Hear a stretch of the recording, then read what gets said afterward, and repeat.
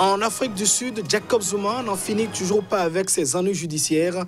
L'ancien président de la République vient de faire appel dans un dossier de corruption, annonce faite par le parquet.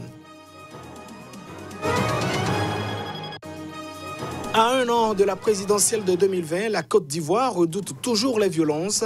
Les ressortissants ouest-africains ont tenu une rencontre. Message principal, ne pas se mêler des affaires politiques de la Côte d'Ivoire.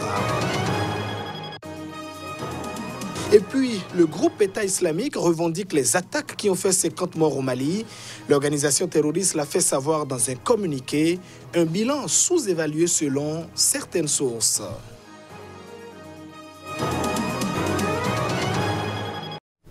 Voilà donc pour les titres de ce journal. Merci de nous choisir pour vous informer. Les allers-retours de Jacob Zuma devant la justice sud-africaine. L'ancien président de la République vient de faire appel dans, dans une vieille affaire de vente d'armes impliquant le groupe français Thales. Il est poursuivi pour corruption. Natacha Kara, une porte-parole du ministère public, a confirmé que l'ancien président sud-africain a bel et bien déposé sa demande d'appel. Il revient désormais à la justice de se prononcer sur la recevabilité ou non de cet appel avant de l'étudier éventuellement sur le fond. Jacob Zuma, qui a été au pouvoir de 2009 à 2018, est accusé d'avoir touché environ 238 000 euros de pots de vin de la part du groupe de défense et d'électronique français Thales. C'était dans le cadre d'un énorme contrat d'armement d'environ 3 milliards d'euros attribué en 1999. Jacob Zuma et Thales, qui a remporté une partie de ce contrat pour l'équipement de navires militaires et a également poursuivi dans cette affaire aux multiples rebondissements, ont toujours nié les allégations. Début octobre, un tribunal sud-africain avait refusé unanimement d'abandonner, comme le réclamait Jacob Zuma, les poursuites le visant. Dans la foulée, le début de son procès avait été fixé au 15 octobre. Mais le jour J, ses avocats avaient annoncé leur intention de faire appel, reportant de fait le début du procès. Mis en cause dès 2003 dans le dossier Thales, Jacob Zuma a toujours réussi à échapper au mailles du filet de la justice. Son conseiller financier à l'époque des faits, Shabir Shaikh, a lui été reconnu coupable de corruption dès 2005 et condamné à 15 ans de prison. En Algérie, cinq candidats pourront se présenter à l'élection présidentielle prévue pour le 12 décembre prochain. Dans le starting block, deux anciens premiers ministres de l'ex-président Abdelaziz Bouteflika. L'annonce a été donc faite par l'autorité nationale en charge de l'organisation de l'élection. C'était au cours d'une conférence de presse à Alger. Au total, 23 candidats avaient déposé leur dossier en vue de participer à l'élection présidentielle algérienne destinée à trouver un successeur à Abdelaziz Bouteflika, forcé à la démission en avril après 20 ans de pouvoir.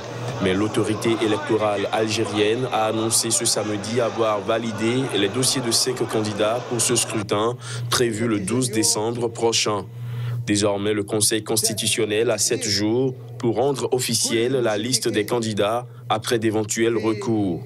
Trois des candidats retenus ont travaillé sous l'autorité de l'ancien président, Ali Benflis, directeur de cabinet à la présidence, puis Premier ministre, Abdelmadid Tebboune, plusieurs fois ministre, puis Premier ministre, et Asdine Miboubi en tant que ministre. Le quatrième candidat est Abdelkader Bengrinard, ancien ministre du Tourisme de 1997 à 1999 et ancien député d'Alger, issu d'un parti qui a soutenu Ben Flika. Le cinquième, Abdelaziz Belaïd, a notamment fait partie d'organisations de jeunes qui ont aussi soutenu l'ancien président. Ali Benflis, lui, se présente depuis 15 ans comme le principal opposant de Bouteflika. L'élection du 12 décembre est rejetée par le mouvement de contestation inédit né fin février et sous la pression duquel Bouteflika a été forcé par l'armée à démissionner. Le mouvement de contestation refuse que l'élection présidentielle soit organisée par le pouvoir aux mains des figures des 20 ans de présidence de Bouteflika. Des milliers de personnes ont participé dimanche au Liban à un rassemblement de soutien au président Michel Aoun. Ce dernier est confronté depuis plus de deux semaines à un soulèvement populaire inédit contre l'ensemble de la classe dirigeante libanaise. Le Premier ministre, lui, avait déjà rendu le tablier enfant du soutien pour le président libanais Michel Aoun. C'est à Babda une petite ville située au sud-est de la capitale Beyrouth, que plusieurs milliers de personnes se sont rassemblées dans la matinée de dimanche, brandissant des drapeaux libanais et les étendards aux couleurs du parti de Michel Aoun. Les participants ont dénoncé les manifestations anti-pouvoir qui réclament le départ du chef de l'État, tout en disant qu'ils partageaient les demandes de la contestation, dont les réformes et la lutte contre la corruption, mais que le président était le seul qui pouvait les concrétiser. Il faut dire qu'avec ses alliés, notamment le mouvement chiite du Hezbollah, la formation de Aoun domine le Parlement. Entre-temps, des manifestations anti-pouvoir étaient en préparation pour se tenir au cœur de Beyrouth sur la place des Martyrs, épicentre de la contestation depuis le 17 octobre. Les protestataires y réclament la chute du régime et fustigent des dirigeants politiques jugés corrompus et incompétents. Samedi soir déjà, plusieurs milliers de personnes se sont rassemblées à Tripoli, grande ville du nord où la contestation ne faiblit pas. Le rassemblement a attiré des Libanais venus de tout le pays. Mardi, le Premier ministre Saad Hariri a annoncé la démission de son gouvernement. Les manifestants réclament la formation d'une nouvelle équipe ministérielle composée de technocrates. Par le passé, ils ont aussi réclamé la dissolution du Parlement. La Côte d'Ivoire se prépare à tenir l'élection présidentielle de 2020. À un an du scrutin, l'importante communauté d'étrangers ouest-africains dans le pays a tenu un meeting. Elle est conviée à ne pas se laisser instrumentaliser. 2 à 3 000 étrangers et ivoiriens se sont rassemblés samedi à Gagnois, dans le centre sud de la Côte d'Ivoire, où vivent beaucoup d'Ouest-Africains pour un meeting. L'objectif était de sensibiliser sur la paix, une initiative qui a lieu à un an de l'élection présidentielle qui s'annonce tendue. Ceci dix ans après la crise post-électorale qui avait fait 3000 morts. Il est ici question de demander à l'importante communauté d'étrangers ouest-africains en Côte d'Ivoire de ne pas se laisser manipuler lors du scrutin de 2020. Les participants ont choisi comme slogan Quitte dans leur affaire. C'est normal. Je ne veux pas qu'ils se mêlent de la politique ivoirienne parce qu'ils viennent d'un autre pays. Ce pays aussi a sa politique à elle. Je ne veux pas voir un Burkinabé, un Malien dans les affaires politiques des Ivoiriens. C'est important parce que vous avez vu ce qui s'est passé en 2009, 2010, 2011.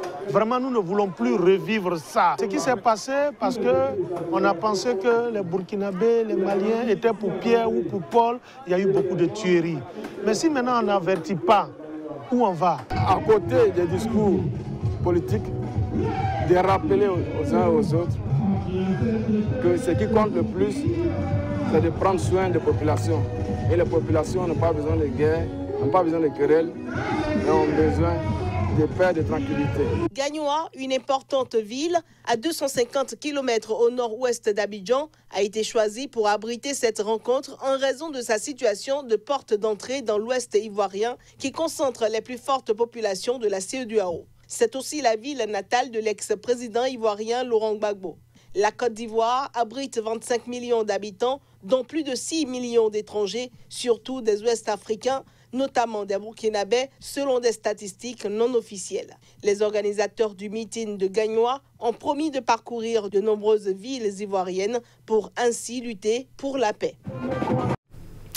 Au Bénin à présent, les réactions après l'adoption par le Parlement d'une révision constitutionnelle, une modification de la loi fondamentale intervenue en procédure d'urgence et dans un contexte de crise politique et qui prévoit désormais qu'un président ne pourra plus faire plus de deux mandats dans sa vie, limitant aussi à trois désormais le nombre de mandats des députés créant aussi un poste de vice-président.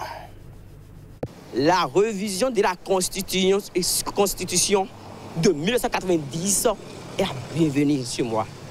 Moi, c'est la bienvenue.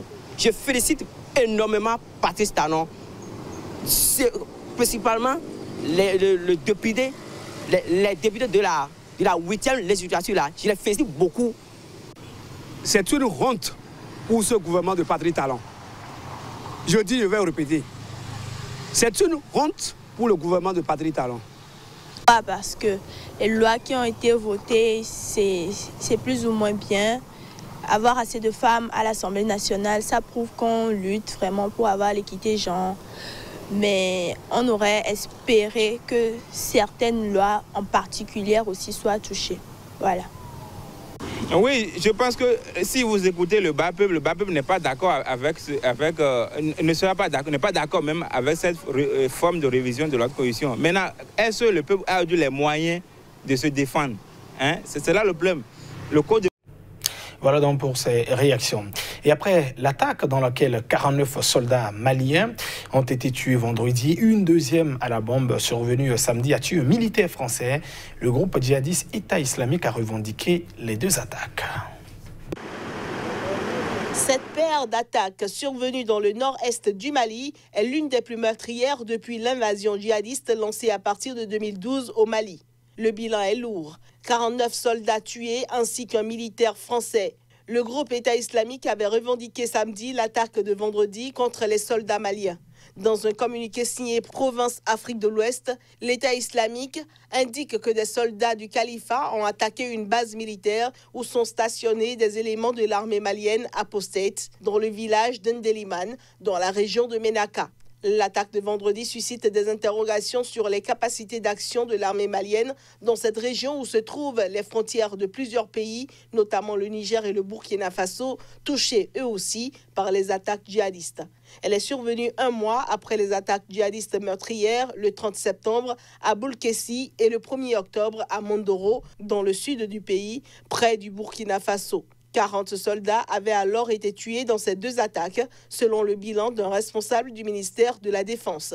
Plusieurs sources estiment que ce bilan officiel de 40 morts a été sous-évalué. Quant aux soldats français, il a été tué près de la frontière du Niger au lendemain de l'attaque terroriste dans la même région contre une base malienne. L'explosion de l'engin artisanal qui l'a tué est survenue pendant une mission de sécurisation prévue de longue date. Ces attaques surviennent une semaine après la mort dimanche du chef de l'État islamique, Abu Bakr al-Badawi, tué lors d'un raid américain en Syrie. La pollution en Inde à présent, la capitale de l'Inde, New Delhi, s'est réveillée dimanche dans un brouillard de pollution particulièrement dense. La situation a forcé donc de nombreux vols à se dérouter vers d'autres aéroports. La capitale indienne de 20 millions d'habitants connaît chaque année des épisodes très violents de pollution d'air. Ceci est dû à la fois à la circulation automobile, au rejet industriel et aux fumées des brûlis agricoles qui battent leur plein dans les régions voisines. Selon l'agence indienne surveillant la qualité de l'air, les concentrations de particules fines PM2,5 ont atteint des sommets, en raison notamment de légères précipitations samedi soir. D'un autre côté, l'ambassade américaine à New Delhi enregistrait ce dimanche une concentration de particules fines PM2,5 de 810 microgrammes par mètre cube d'air, alors que l'Organisation mondiale de la santé recommande de ne pas dépasser 25 en moyenne journalière. On peut donc dire que la pollution a atteint des niveaux insupportables à New Delhi. Nombre d'habitants se plaignent de problèmes à la gorge et aux yeux. Beaucoup tentent de se protéger avec des masques. Tellement la visibilité était mauvaise que des compagnies ont annoncé de nombreux retards sur les aéroports de la capitale et ont détourné des vols vers les villes voisines. Face à la situation, les autorités fédérales et locales se sont renvoyées la responsabilité. Les écoles de Delhi seront fermées jusqu'à mardi, tandis que la circulation alternée doit être mise en place du 4 au 15 novembre. Les véhicules ne pourront rouler qu'un jour sur deux, selon que leur plaque d'immatriculation finit par un chiffre pair ou impair. Mesdames, Messieurs, c'est la fin de ce journal. Merci de votre attention. Restez fidèles au programme de votre télévision SICA TV. Au revoir.